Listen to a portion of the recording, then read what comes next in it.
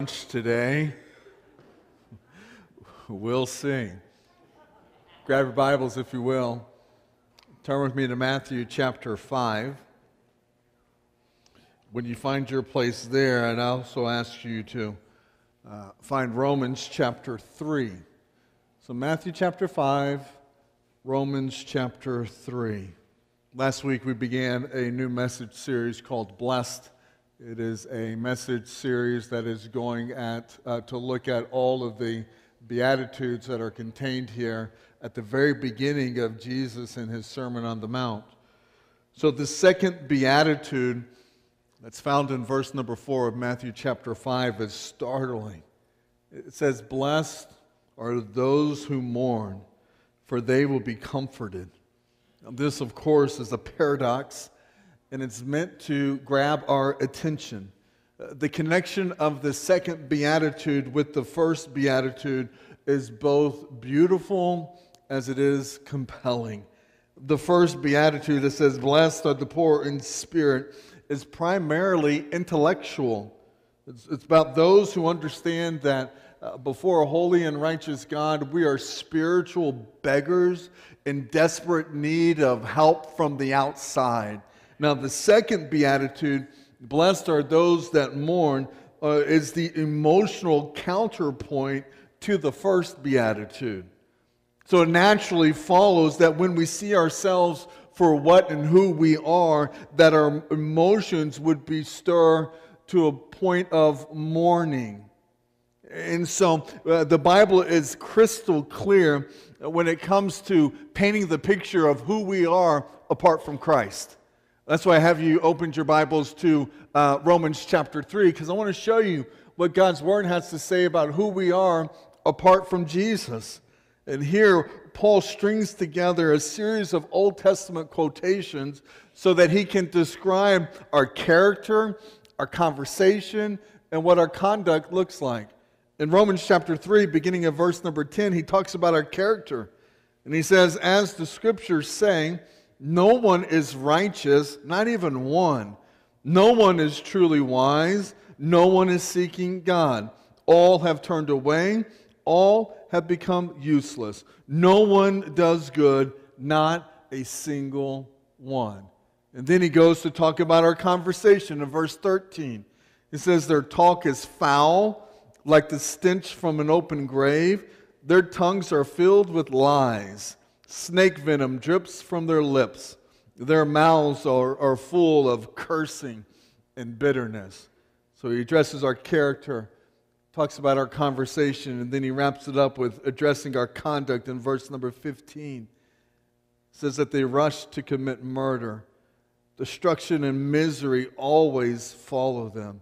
They don't know where to find peace. They have no fear of God at all. Now, this is is who and, and what we are apart from Jesus Christ. And I would say that it is a great day in our lives when we are confronted with our individual sin. When we refuse to rationalize our sin. When we're willing to acknowledge and admit that what we've done or what we're doing is actually sinful.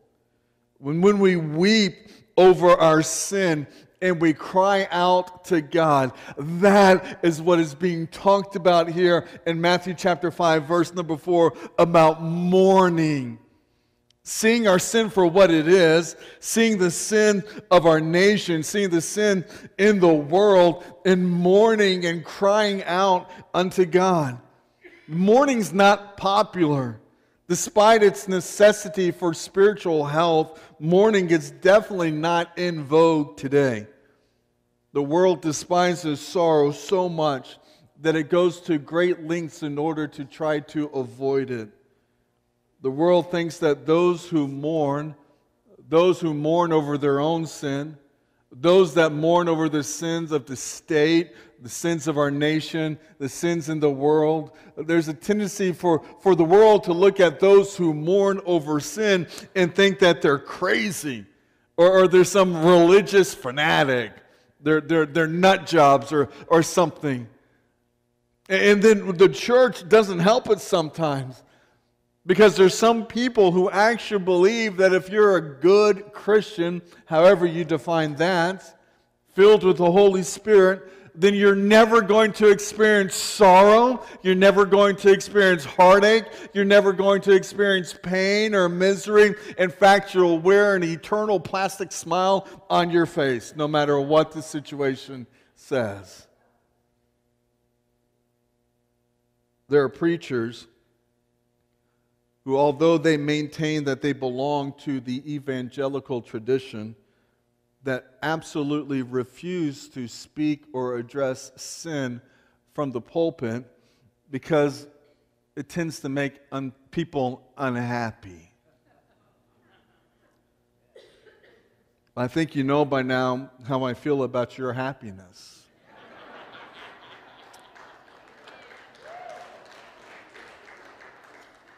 The result of all of this is a Christianity that is pathetically shallow, if indeed it's Christianity at all.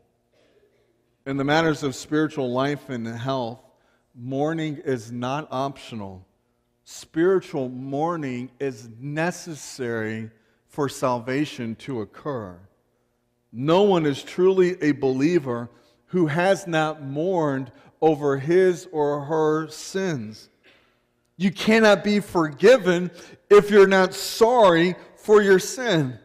And so the saddest thing in life is not a sorrowing heart. I think the saddest thing in life is a heart that's incapable of grieving over sin because that heart is a heart that hasn't been moved by grace. And so the Greek verb mourn that's used here is the strongest term for mourning that's found in the Greek language. It's talking about a, a loud wailing.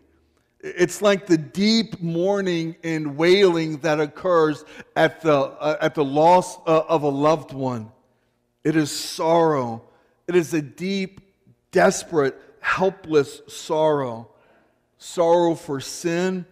It's having a broken heart over evil and suffering. It's the brokenness that comes from seeing Jesus Christ nailed upon the cross and then making the realization that it's my sin that put him there. That's the mourning that we're talking about. Sin and irresponsibility cause all kinds of things in our lives. It causes regret, disappointment, guilt, remorse. In short, sin causes sorrow. But here's what you need to understand sorrow, in and of itself, has no healing power. Only repentance, it's a change of heart, a change in the direction of our lives. It's only through repentance that the sorrowing heart might be healed.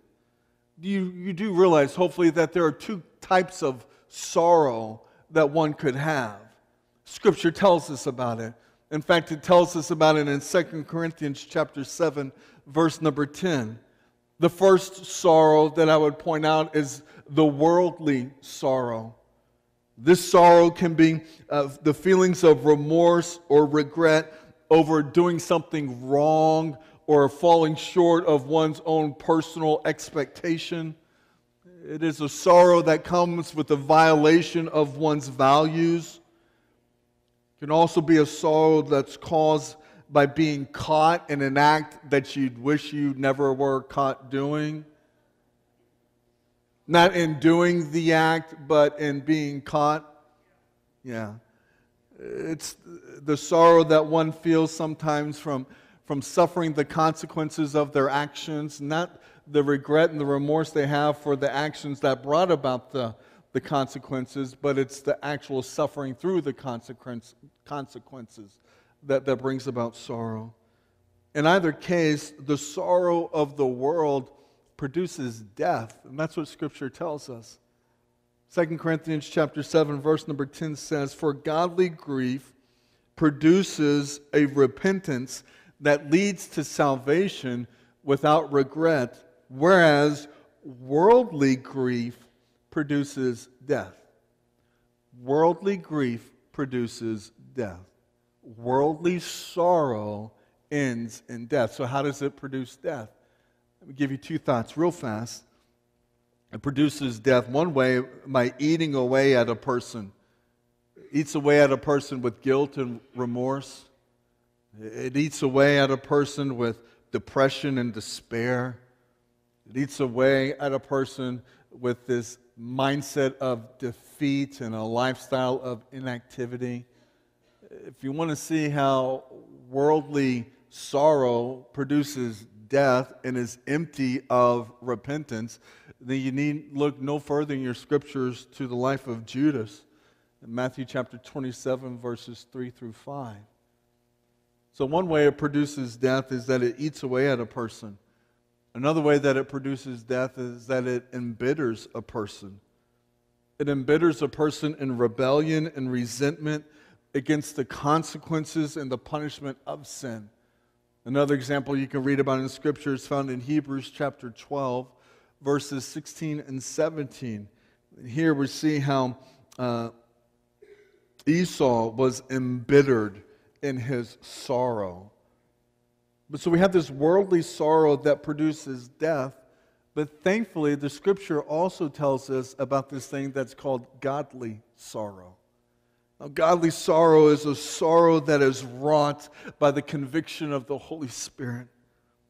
It's when someone who does something wrong or, or falls short of God's holy standard, and the Holy Spirit moves in the life of that person to raise awareness to what they're doing is, is wrong. Scripture teaches us in Ephesians chapter 4, verse number 30. Scripture says that when we do wrong and we fall short, those are really nice ways of saying when we sin. When we sin, according to Ephesians 4, verse number 30, the Holy Spirit is grieved. It grieves the Holy Spirit. And then you see in second, uh, I'm sorry, First Timothy chapter 5, verse number 19. So not only does it grieve the Holy Spirit, but also the Holy Spirit's work is quenched because of sin.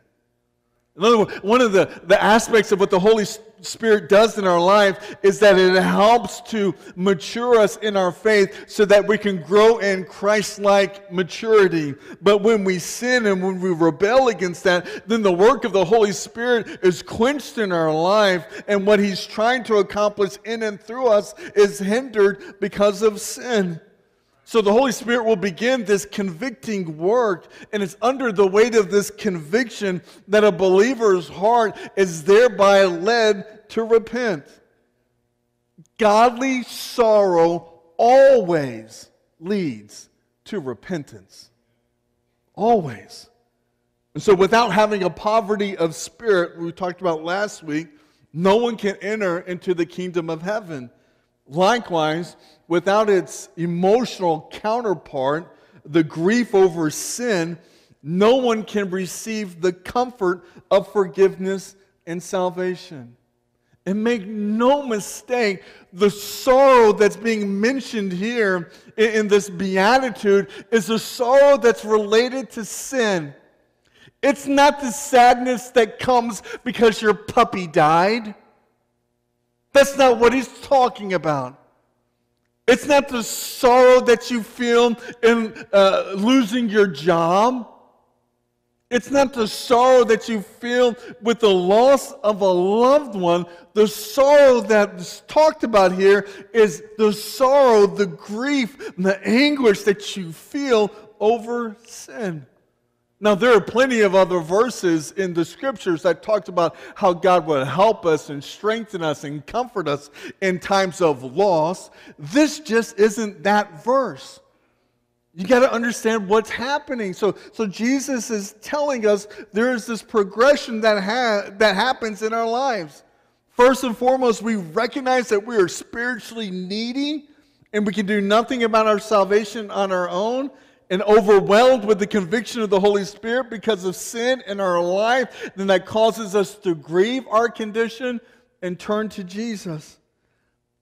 And so look at the reward that comes from our mourning. It says, Blessed are those who mourn, for they will be comforted. I want to point out that this comfort is actually immediate. Don't misinterpret the future tense that's being used here. It's not saying, blessed are those that, that, that mourn because eventually, sometime in the future, you're going to be comforted. The future tense is used merely to help us to understand the sequence of how things happen. Comfort comes after the mourning happens. So you have to mourn and grieve first before you can be comforted. So what Jesus is saying, blessed are the mourners, or, or the mourners are approved, for they are immediately comforted and they will continue to be comforted. That's the essence of what Jesus is saying. There can be no comfort where there is no grief. And so that we're all clear that the basis of our comfort is forgiveness. Believers are the only people in the world that are free from the guilt of our sin. And so that word they is used emphatically.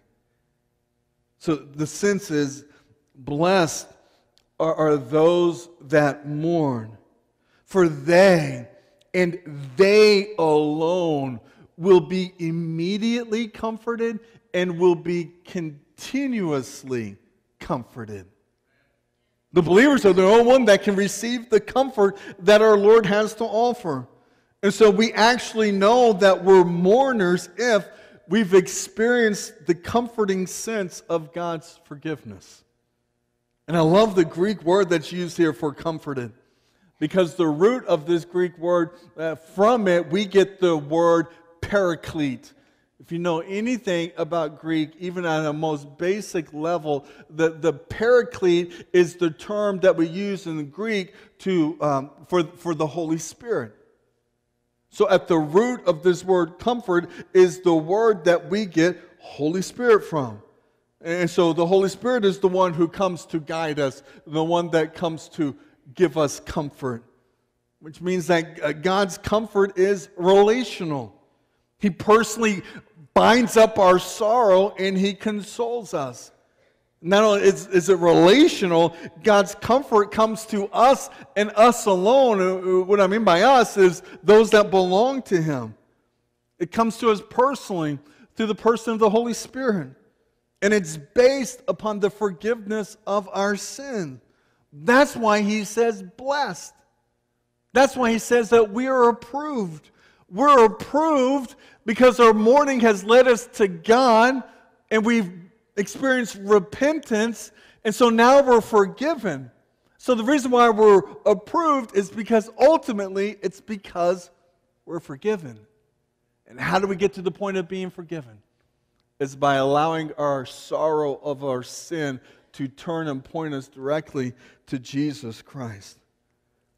You to understand that those who are not yet believers, to you, please recognize that this paradox is meant to lead you to salvation. If a spirit of mourning is welling up inside of you, my word of encouragement to you is to let that mourning lead you directly to Jesus Christ. May you do what like uh, the prodigal son does in Luke chapter 15. We're not going to read the whole story, but if you know just a little bit about the story of the prodigal son, you know that there's a child who demands to receive something from the father that it wasn't his place or his time to demand it. Received the blessings of a dad and went out and wasted it all and lived a very foolish life. In the midst of all of that, in utter desperation and despair, the prodigal son recognizes his condition and he mourns over it in the midst of his misery, listen to what he says. It says in Luke chapter 15, verses 18 through 20. The prodigal son says, I will arise and go to my father and say to him, Father, I have sinned against heaven and against you. I'm no longer worthy to be called your son. Treat me as one of your hired servants. And he arose and came to his father. But while he was still a long way off, his father saw him and felt compassion and ran and embraced him and kissed him. Let me ask you this morning do you acknowledge that there is absolutely nothing that is within you that makes you acceptable unto God? That the only way that you're acceptable unto Him is through faith and trust in His Son, Jesus Christ. Are you mourning over the thought of sin? Are you mourning over the sin that's currently in your life? Does it produce grief? Does it produce sorrow at all? I'd like to share a couple of quotes with you this morning to kind of help to see this being played out in real life. The first one's going to come from a man by the name of Charles Colson. Maybe you recognize him more as Chuck Colson. Uh, Chuck Colson passed away some seven years ago, I believe, 2012. Uh, Chuck Colson was uh, the founder of Prison Fellowship and, and, and Breakpoint, but uh, almost in like in another lifetime ago, before uh, Prison Fellowship and all of that uh, developed in his life, before he became uh, world renowned as an evangelical Christian leader, before all that, at one point in his life, Chuck Colson served as the special counsel to President Richard Nixon. How many of you knew that? Sound familiar to you? In fact, uh, he was referred to as President Nixon's hatchet man. And so Colson gained notoriety at the height of the Watergate scandal. In fact, uh, Chuck Colson was the first person under the Nixon administration to be incarcerated because of Watergate related charges. I want you to look at what he had to say on the night that he became a believer and then take notice about the comfort that he received from his mourning. He says, That night when I sat alone in my car, my own sin, not just dirty politics, but the hatred and evil so deep within me was thrust before my eyes forcefully and painfully. For the first time in my life, I felt unclean. And worst of all, I could not escape. In those moments of clarity, I found myself driven irresistibly into the arms of the living God. Chuck, he got it. He understood the poverty of spirit, the mourning over sin, and that led him directly into the arms of our Savior. Chuck Colson followed his mourning to God, and so can you.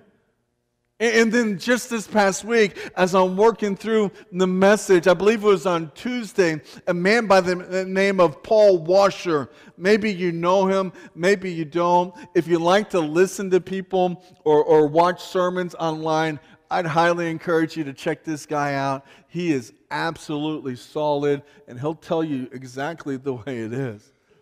Paul Washer had this, he tweeted this out this past Tuesday.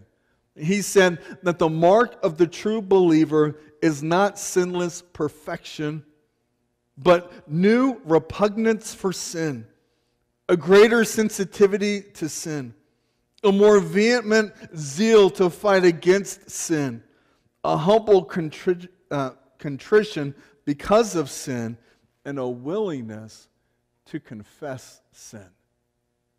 Like, just let that sit there for just a moment.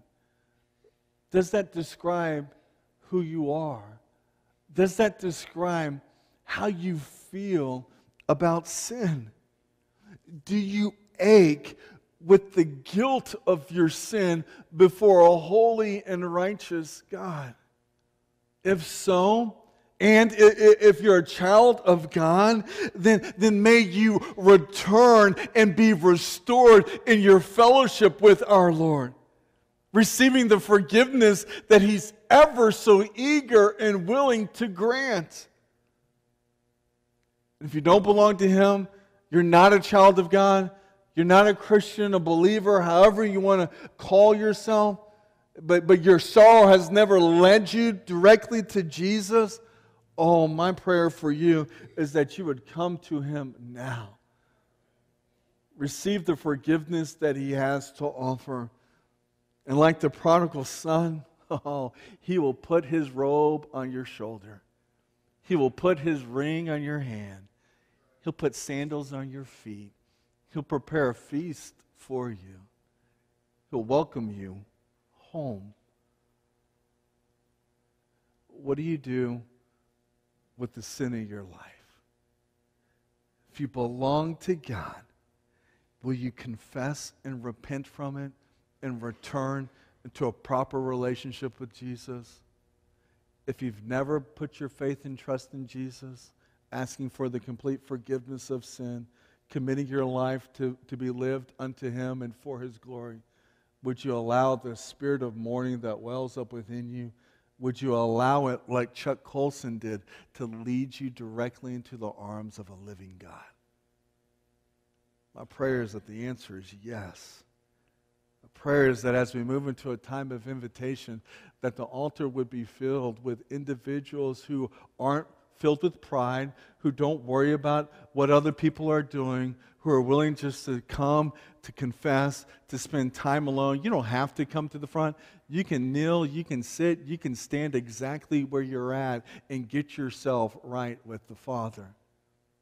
My prayer is that we're not rushing out of here just to get to lunch before a crowd, but that we're going to take whatever time is necessary in this moment so that when we leave this place, we are in a proper relationship with our loving Savior.